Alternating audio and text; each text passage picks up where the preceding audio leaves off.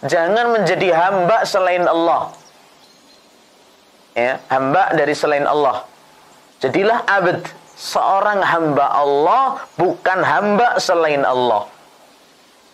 Siapa hamba dari selain Allah? Banyak sekali. Ya, disebutkan dalam hadis Nabi Shallallahu alaihi wasallam, ta'isa abdud dinar, ta'isa abdud dirham, ta'isa abdul hamisa. Sungguh celaka hambanya dinar, hambanya dirham, hambanya pakaian, budak dinar, budak eh, dirham, budak pakaian, budak rupiah, budak harta. Celaka yang seperti ini.